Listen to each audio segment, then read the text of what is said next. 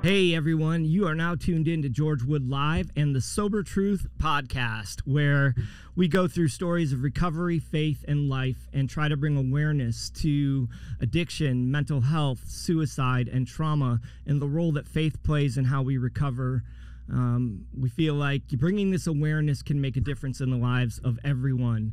So today I'm really excited because I have actually been a, um, a Facebook fan of this organization um, and this amazing couple that is really trying to bring awareness to trauma and they've done multiple things and are doing multiple things and i'm, I'm going to let them just kind of jump in and tell a little bit about their story but dana and tim it's just great to have you here today Thank you for Thank you very us. much. Appreciate it. yeah and you know it's so funny because one thing i didn't know that i found out last night is you're from watertown new york I am, as a matter of fact. i am from just outside of syracuse no way. yeah and as soon as I didn't, I didn't want to say anything until i heard you talk Yeah. because I upstate New Yorkers talk a certain way. Yeah. And so as soon as you walked in and you started talking, I was like, oh yeah, he's an upstate New Yorker. That's so, funny. No, no one usually knows where that is. so- Oh, oh yeah, oh yeah. I was from a little town called Westmoreland, so outside Oh, of Syracuse. I know exactly where that is. I always say Syracuse. Yeah, so do I. I did too, but I, you know, in case anyway, people from back home here, they're like, he's not from Syracuse. we, know, we have uh, we had one stoplight in in in Westmoreland, so I think they still do actually. Um, I've been here since '93, so I seldomly think. How long you been here? Oh gosh, like 16 years. or Gosh, something see like that. everybody, everybody watching or listening. Gosh, that's an upstate New York thing right there, man. We say totally. I used to, I used to use uh, Wicked all the time too. Wicked. Wicked, awesome. Wicked awesome. Oh my gosh. oh my goodness. Yeah, yeah. It's so funny, man. Anyways, it's just great to have you here. And uh, Dana, you're from. I found out as you came in the office that you're right from around the office in yeah, Tampa. I was born and raised Tampa. Was born in St. Joe's Hospital and haven't really left since. Yeah, we got to get out more, right? I know. I'm, I'm getting there. I'm getting there. That's awesome. Um, but anyways, it's just really great to to have you guys here. Why don't we just jump, jump right in and tell me, you know, tell the world, everybody watching, listening, um, what it is that you do and how we got there. Okay, so um, my journey began um, just through a story about me. Um, I was raised by two amazing people, but unfortunately, um, during that time when pain pills were not the addiction properties and things like that weren't really talked about, my parents became addicted to prescription drugs. And um, it became pretty bad and my brother and sister as well. So I was the only one. I don't know why. I just saw it and I was like, I don't want that life. Um, I was also very close to my uh, grandmother, who was a praying amazing woman. And um, my parents were christians as well but they just dealt with this addiction. So i like to put that out there because a lot of times when people hear drug addicts they think the worst. And no they were very smart amazing people but they got hooked on prescription drugs. And it was very unstable unstable for a long time. And um, when unfortunately when i was 18 years old they both passed away just three weeks apart. So i lost my mom july of 2004 and then my dad three weeks later and Was it um, from the pain pills? Yes. So technically, it was Tylenol poisoning because there's Tylenol in all these pills, and then they, unfortunately, their livers just shot, and um, and then in 2011, my little brother died as well from it. So he was 24 years old. He overdosed accidentally, and um, so it's taken most of my family. I mean, literally, it's a statistic. You have a better chance of dying in my family than living. So, the fact that I've never been a drug addict, the fact that I've never went that route, is a God thing. Like I, I don't understand it half the time, but I, I praise God that I never did. I did not realize that was part of your story. Oh yeah. Um, or I would have like really been attuned to that. That's, although you know, I you definitely would have been on here if I'd known just that alone, Yeah. because that is such a primary thing that we do. Um, my brother and sister died from drug overdoses seven months apart. Wow. And, and he was an attorney here in Tampa, graduated, you know, hot top of his class. So, uh, no, you can be very smart and die from drug overdoses. Now, unlike your story, unfortunately, I did become a drug addict, but that's a story for another time.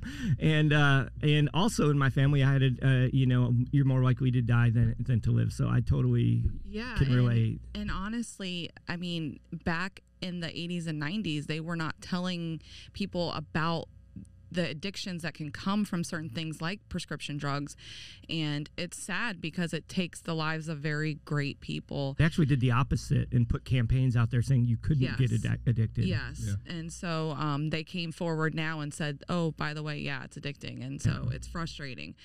But, um, you know, addicts are good people. It's just they have a problem and they um, unfortunately don't live the life abundantly that God Sure. died for them to live. But with that, I ended up getting into, I got married very young because I was just broken. And so I got married at 18 years old. And um, it was a boy I met at youth camp at church. So I was like, oh, he must be a good guy, you know? Yeah. And, um, you know, it just, I didn't realize how abusive it was until it got physical, which is crazy because now I look back and I'm like, I should have seen this a long time ago.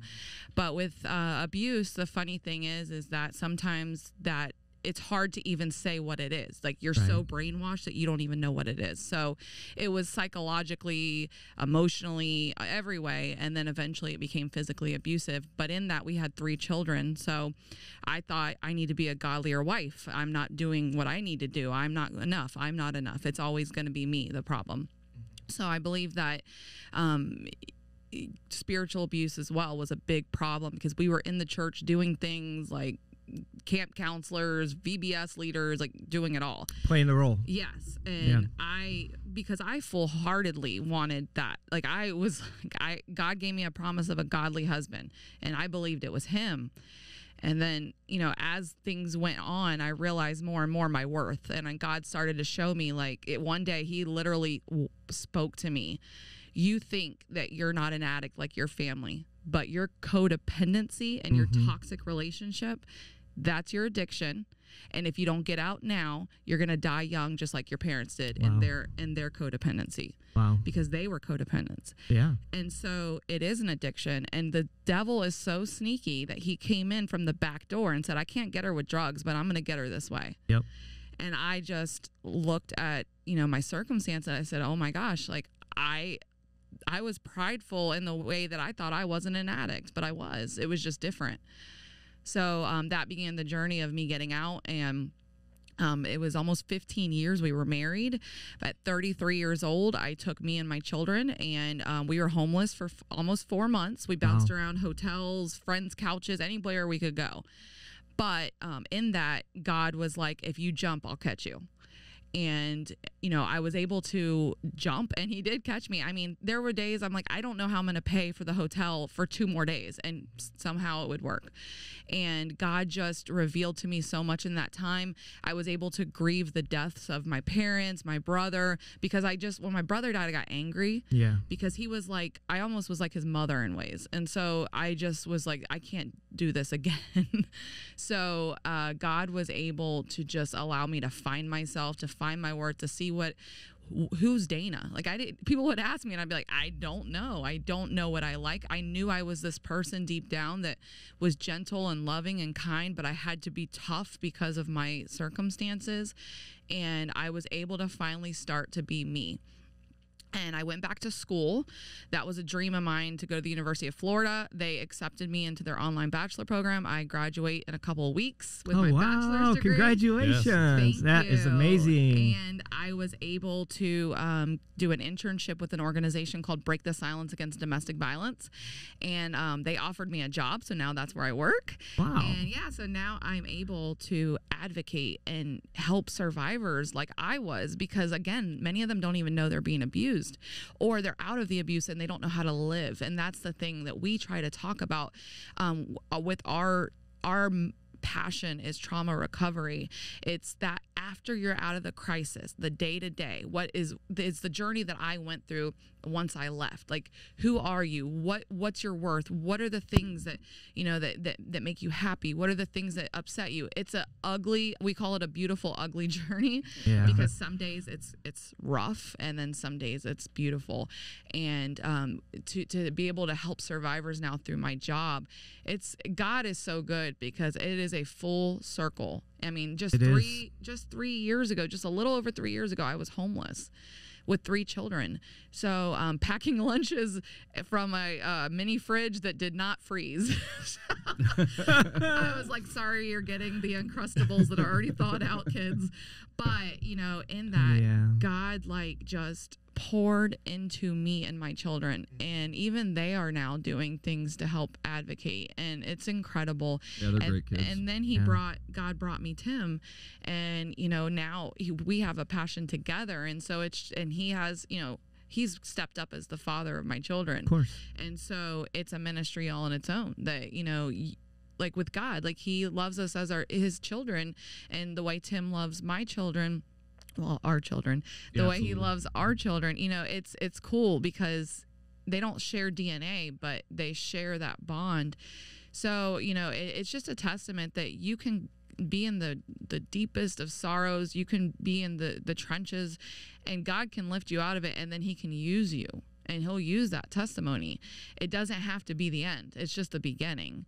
So um, we started a website called the Trauma Survivor's Guide to Life Abundantly because that scripture says, you know, that the thief comes to steal, kill, and destroy, but I've come to give you life and life abundantly.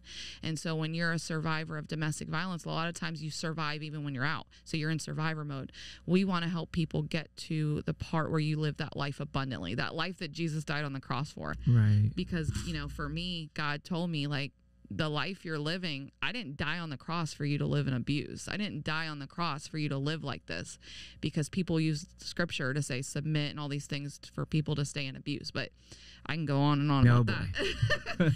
but that's not the life that Jesus died on the cross for us to live. And so we want to help people get to that point because crisis getting out of crisis of course it's important we we want to help people get out of crisis too but we also want to you know show them like you can make it and be better i i'm the best version of myself that i've ever been even Yeah, before well. yeah, Yeah. it's like I you know, I almost thank God for the things I've walked through because it's gotten me here. But, you know, a lot of people don't think that you can, you know, oh, I can't go back to school. I can't do these things. Why not?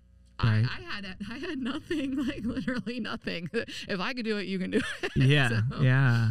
Man, I, I just got to say for everybody watching or listening, that right there is just one of the most beautiful stories I've ever heard. Thank you. I mean, honestly, I'm sitting here tearing up right now because no, it, it's just beautiful because it is um, it is this cycle of life that so many people don't understand, don't don't know happens to to people.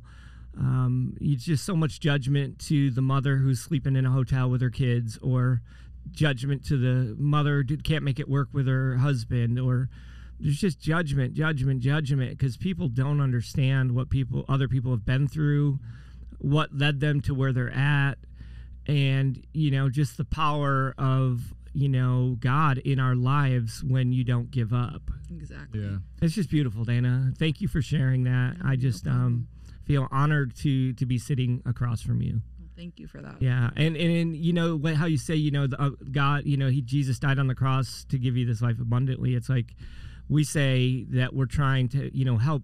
You know the book we have coming out, the Uncovery, is we're trying to help people uncover the life that Jesus died on the cross to give you. Because so often people just try to recover the life they had before addiction or before the trauma. What if you could have even more than that? Exactly. Yeah. You know, so life abundantly. So Yes. it's like